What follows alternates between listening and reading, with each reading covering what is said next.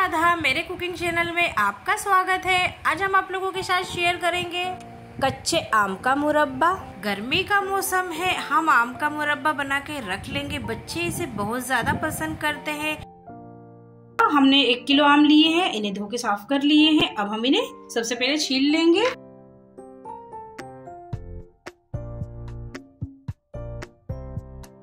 सारे आमों को हमने छील लिया है। अब हम इन्हें पीसेस में कट करेंगे।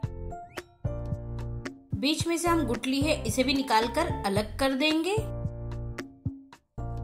और इसके पीसेस कर लेंगे बड़े बड़े कुछ इस तरीके से।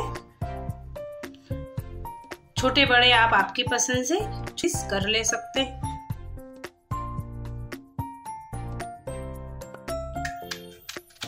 इसी तरीके से हमें सारी कच्ची केरियों के पीसीस कर लेने हैं। सारे कच्चे आम के पीसीस हमने कर लिए हैं लंबे टुकड़ों में। अब हम इन्हें उबालने के लिए रखेंगे। उबालने के लिए सबसे पहले हम एक भगोनी लेंगे और एक भगोनी में सारे कटे हुए आम ऐड कर देंगे। अब हमें पानी ऐड करना है। पानी इतना ऐड करेंगे कि हमारे आम अच्छे से डूब जाए। हम इसे रख देंगे गैस पे। गैस पर भगोनी रख दी हुई है। अब हम इसे ढककर पाँच मिनट के लिए पकाएँगे। दो मिनट के लिए इसे हम हाई पे पकाएँगे। तीन मिनट के लिए गैस का फ्लेम लो करके पकाएँगे। दो मिनट हो चुके हैं उन्हें उबलते हुए। अब हम गैस का फ्लेम लो करके अब हम इन्हें तीन मिनट के लिए और उबालेंगे। हमें इन्हें ज़्यादा नहीं उबालना है, केवल हल्का नरम करना है। तीन मिनट हो चुके हैं, अब हम इन्हें चेक कर लेंगे।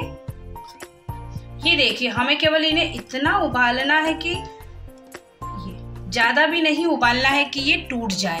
बस अब हम गैस का फ्लेम बंद कर देंगे। अब हम इसे छान लेंगे।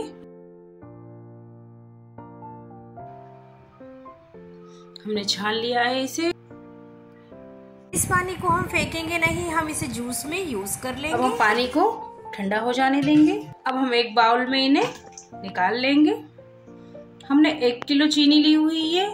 अब हम मुरब्बे में इसे भी ऐड कर देंगे।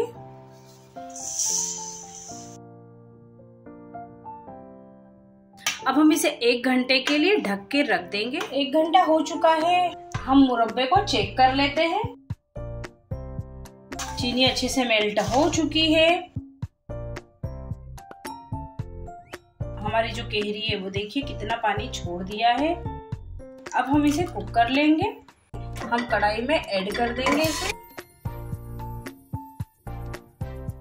अब हमें इसे कुक करना है, चलाते हुए कुक करना है। एक तार की चाशनी बन जाए, हमें इसे जब तक पकाना है। अब हम इसमें ऐड करेंगे वन टेबल स्पून इलायची पाउडर। अब हम इसमें एक pinch yellow food colour add कर देंगे। ऑप्शनल है, अगर आप चाहे तो ऐड कीजिए, वरना स्किप कर दीजिए। इससे कलर बहुत अच्छा आएगा। गैस का फ्लेम हाई करके ही हमें इसे पकाना है। इसे लगातार चलाते जाना है और पकाते रहना है।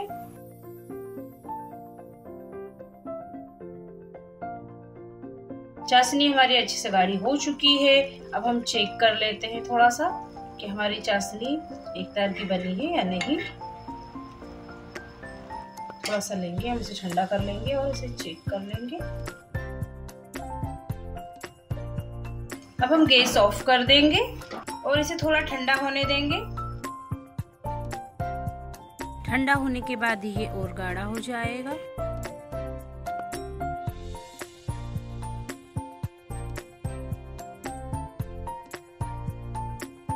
मुरब्बा, अच्छे से ठंडा हो चुका है। अब हम इसे जार में डाल देंगे।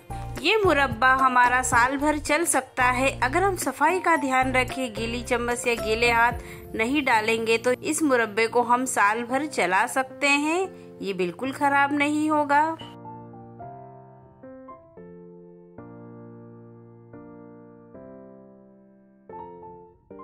अगर आपको ये रेसिपी अच्छी लगी हो तो इसे लाइक कीजिए शेयर कीजिए, मेरे चैनल को सब्सक्राइब ज़रूर कीजिए। मिलते हैं नेक्स्ट वीडियो में। Thanks for watching